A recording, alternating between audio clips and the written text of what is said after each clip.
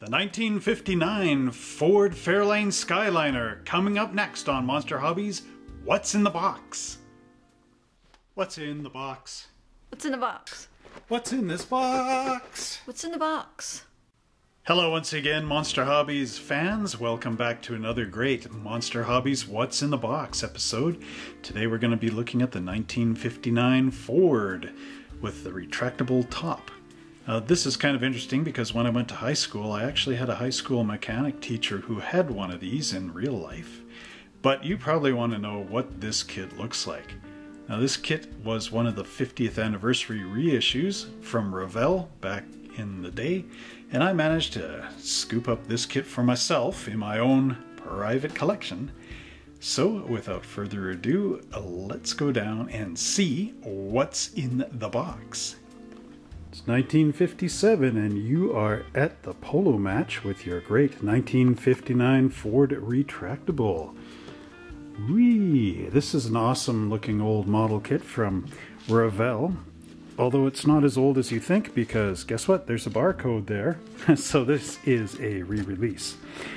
However, it is a cool looking old box with great artwork.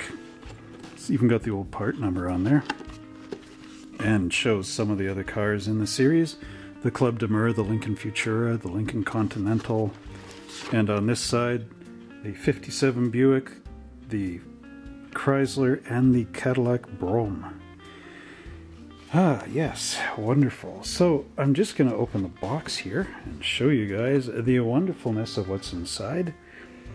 You get, of course, your instruction sheet, the more modern, you know, translated into a million languages sheet of paper. Okay, so then this is a faithful reproduction of the original kit. You're getting some nice chrome here. And here we're really talking original. This is from the era of not understanding how to make a mold of a one-piece plastic body. So you've got a left side, a right side, and the tops and bottoms all glued together, and the back end, and all this kind of stuff. This is typical of a kit that was actually produced in the 50s. So very interesting when we open up that bag. And of course you get some tires. And now there's an issue with the kit. There's actually white wall inserts that go into these tires, which somehow I don't have. But uh, Revell Monogram have a, a bunch of old kits that actually do have spare inserts on their white wall inserts. So I'm just going to try to see if I have enough of those in my own collection. So to begin with, we have the instruction sheet. And this is quite a cool thing. Folds out this way.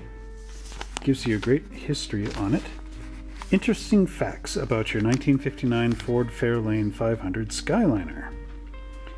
The 1959 Ford Fairlane 500 Skyliner is the only car in the world which has a mechanically retractable hardtop. Just the touch of a button changes it from a sturdy all-steel hardtop to a flashy sun-loving convertible. An example of the years ahead engineering, which has been a Ford byword since the early days of the automobile, the Fairlane 500 Skyliner was one of the cars awarded the gold medal for exceptional styling by the Comité Français d'Elegance at the Brussels World Fair. Three different V8 engines are available, ranging from the 200 horsepower Thunderbird to the 300 horsepower Thunderbird Special. All models are on a 118 inch wheelbase chassis and have an overall length of 208 inches. A strong stiff box section frame with a five with five cross members is used, ensuring a rigid chassis. The Revell model of the Fairlane 500 Skyliner duplicates with engineering accuracy each and every detail of this fabulous car, including the retractable top.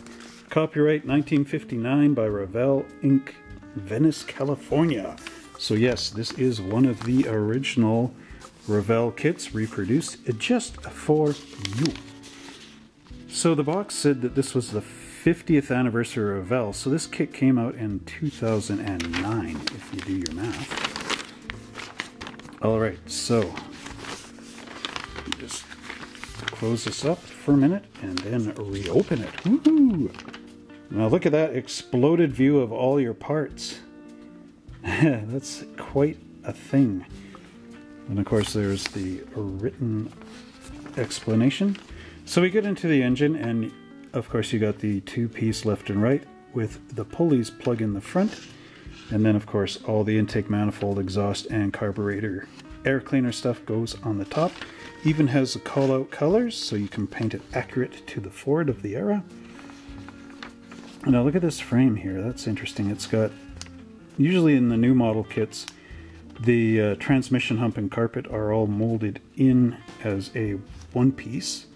These things on the top would be inside the body.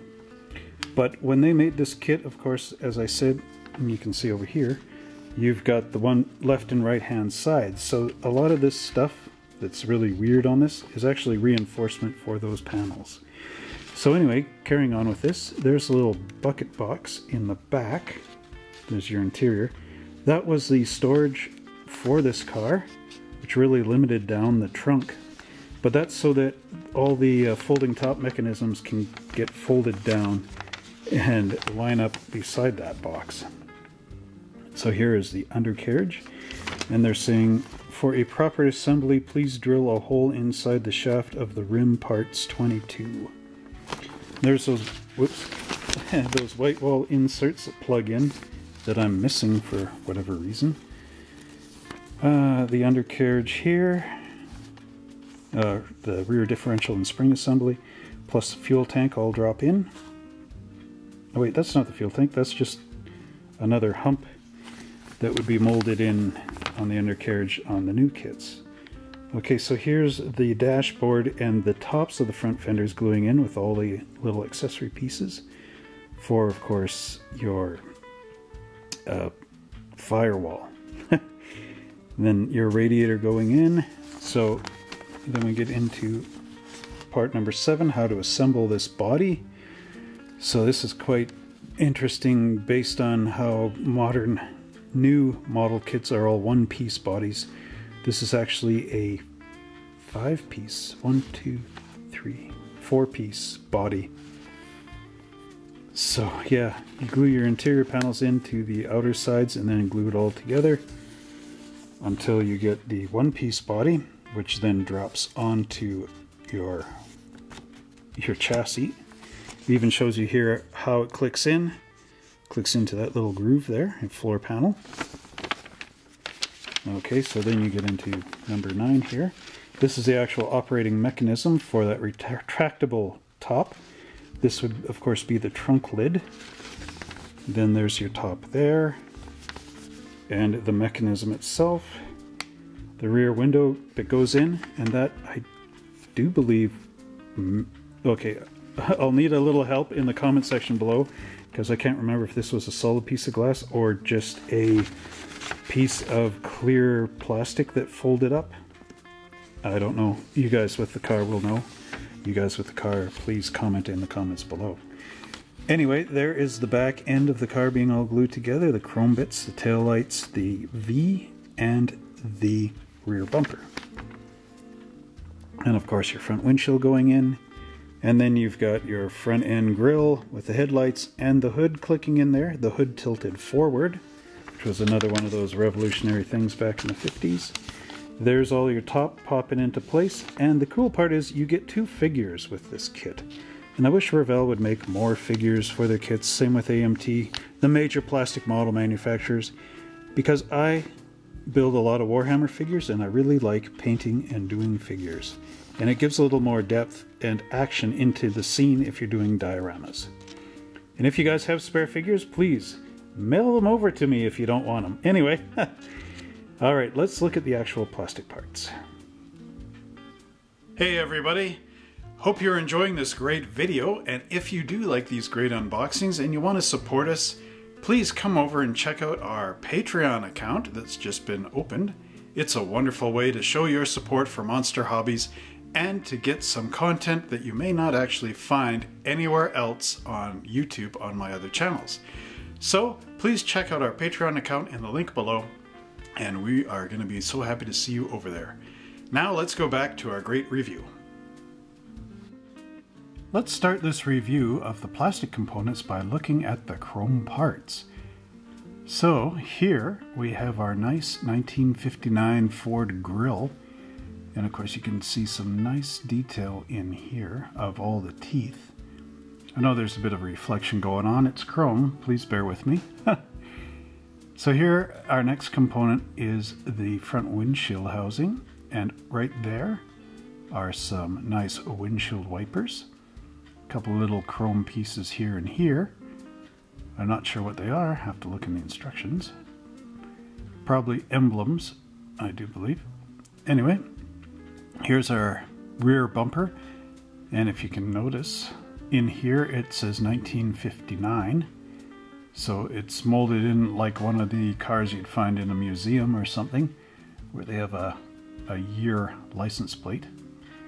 Up here we have the rear tail lights you have to paint some transparent red on there to make them look like red plastic.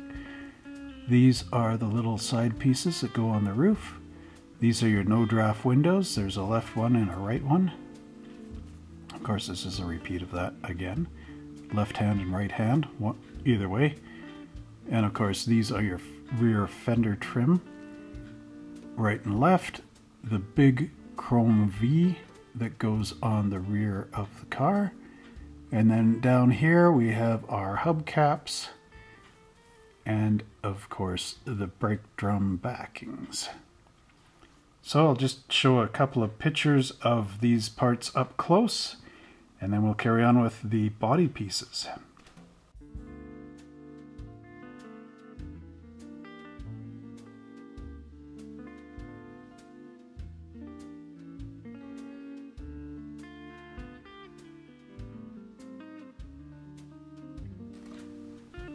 So here we have some of the green components.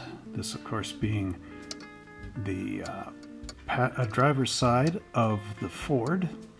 And if you're looking for the passenger side, well, here it is. so that's the mirror reverse. There's your radiator, your fan belt pulley assembly with the generator on the top, uh, the fan itself, some of the firewall com components, your steering wheel, the top of your engine, your two engine halves, the back of the seat, and I do believe this is part of the um, the mechanism for the roof and whatnot.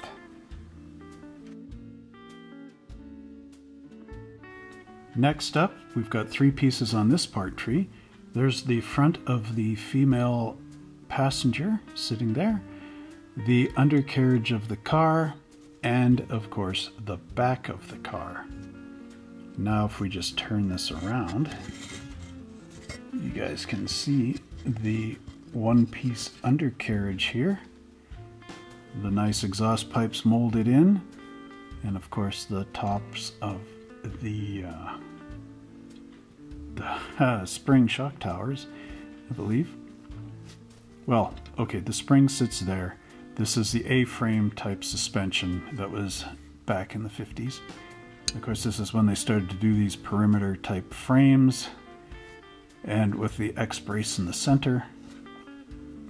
Now, on the more modern kits, this would actually be molded in here.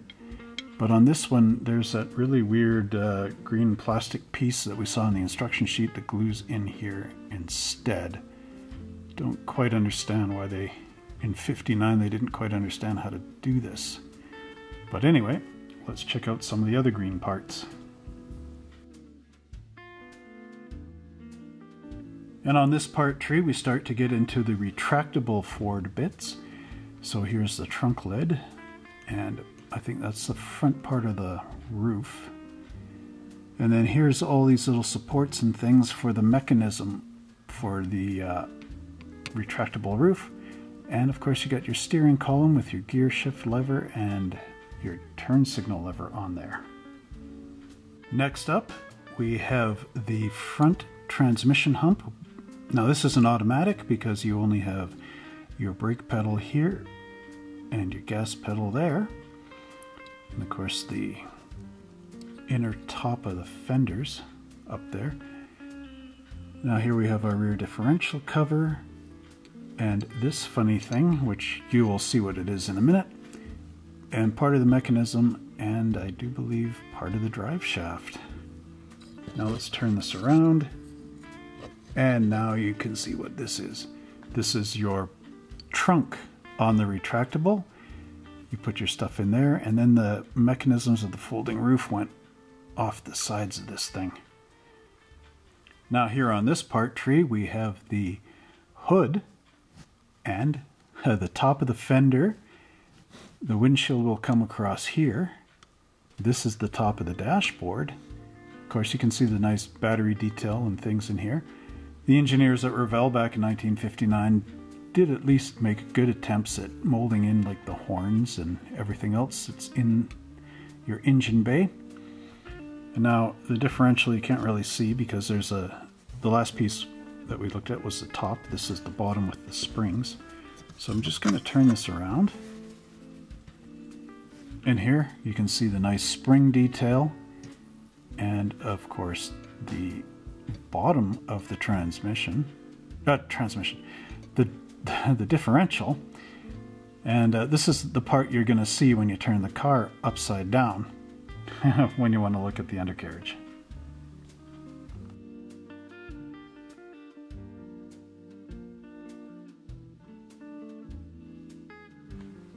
And here we have our interior panels, which actually, this is a really good way to do them, to make them flat. Now, AMT and Revell now are doing four-piece interiors um, just because of the high level of detail you can get in this. With the um, tub interiors of some of the other kits you're going to see on this series, a lot of the side detail is weak because you're basically trying to make an interior in a fully enclosed tub like this sort of thing. So it's hard to get the sides in as good as you can when it's flat. Now I just realized something. I made a bit of a mistake on one of the parts that I just reviewed. This is the roof. This is the front piece of the roof that folds down and inward, I think. Yeah, folds down and inward when the roof retracts into the trunk. The other piece that I showed that looked like this is actually uh, one of the pieces that folds up and down when this becomes a convertible. Now, and then here we have the uh, the bottom of the A-frame suspension, which of course is going to be the top when you turn the car upside down.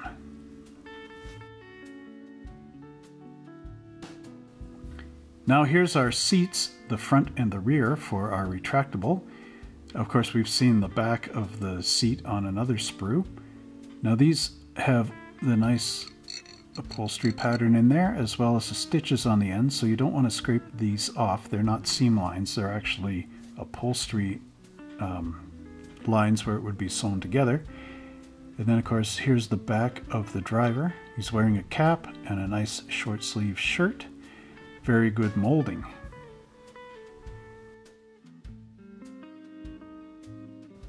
So now we're looking at the driver of the vehicle and he's got this short sleeve shirt on. Now there's a lot of little lines in here for the shirt, so quite a lot of good detail, crisp detail on this.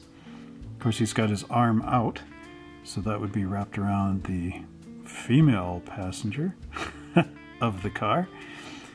That's sort of how they drove back in those days. I know, because I got a 72 Oldsmobile with the bench seat, and me and my wife, I've driven like that with my arm around here. Um, probably not the safest way to drive, but anyway, so here he is, and I do believe he's wearing some sunglasses. So now let's take a look at the loose pieces of the kit.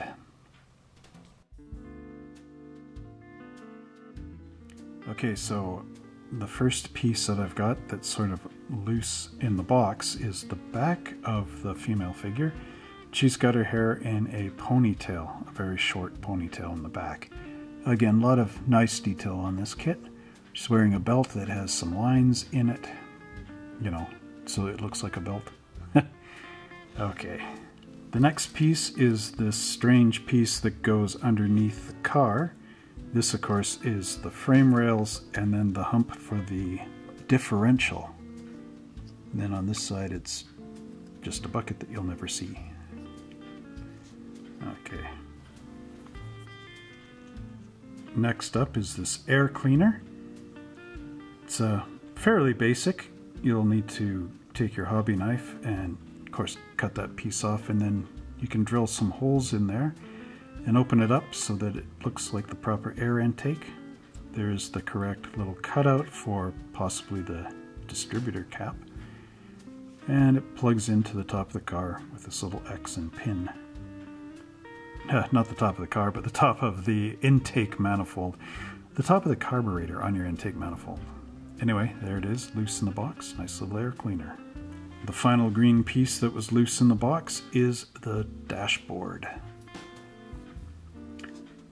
Now here you can see the buttons for the dashboard and of course the instrument panel very nice. There's the glove box and everything, which again, this is not too bad of a mold, considering that the top of the dashboard is actually molded to the top of the car. You can get in here and paint all this with chrome or use your bare metal foil into the gauge clusters and that, and uh, have your paint underneath without trying to, because usually the top of the dashboards, they had overhang and I know with uh, like 57 Chevys and stuff, that overhang, it's very hard to paint the chrome inside here on your dashboard when you got this big other piece overhanging. You know, sometimes you get chrome on the overhang um, or silver paint. And that's always a pain, but it's nice that this has the top off. And I know some of the more modern AMT Round 2 kits are molded like this way as well. Now we move on to our clear parts. We have this nice rear window and our front wraparound windshield with the window glass for the no drafts molded in on the sides. And finally wrapping up with our four headlights for the front end. It's nice that Revell put this in a small plastic bag to save scratches on the glass. Finally, we're going to look at our rear tires. I'm going to leave these in the bag just because they're kind of nicely stacked here. Uh, now if you can see through the wrinkly glare, you actually have the sidewall tread, which is really nice. There's the regular tread on the tires, which is basically straight lines that run all the way around the outside of that tire.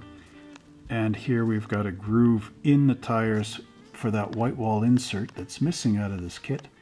Clicks in there. Now, I didn't notice any letters like Firestone or Goodyear or any of that, any of the brand names of tire companies. So I don't know if that's actually on the white walls or if the white walls are the basic monogram Revell style white walled inserts that are, of course, also clear of any of those um, brands like Firestone or Goodyear, BF Goodrich, any of those guys. So basically these are very simplistic wheels and tires. And that will conclude our review of the 1959 Ford Fairlane 500 Skyliner with retractable top by Revell. Well, I hope you really enjoyed watching us unbox this great Ford Ranchero, the 50th anniversary. I put the band back on it. I know at the beginning of the video I I didn't have it on there, but I wanted to show you guys exactly how the box art looked because it's so wonderful. I love this old nostalgic box art because it's like a real artist's dream. And it looks like the old sales brochures of the era too. So this band, of course, as you can tell, really blocks a lot, no matter where you move this thing. you know, there, it's, you know, so it's kind of nice, but eh, a little of a nuisance for a review.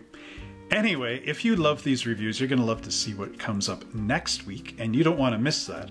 So again, don't forget to like, subscribe, and share this video. Click that notification bell because next week we get into 1960, and that'll be a great, great year. We say goodbye to the 50s and hello to the 60s.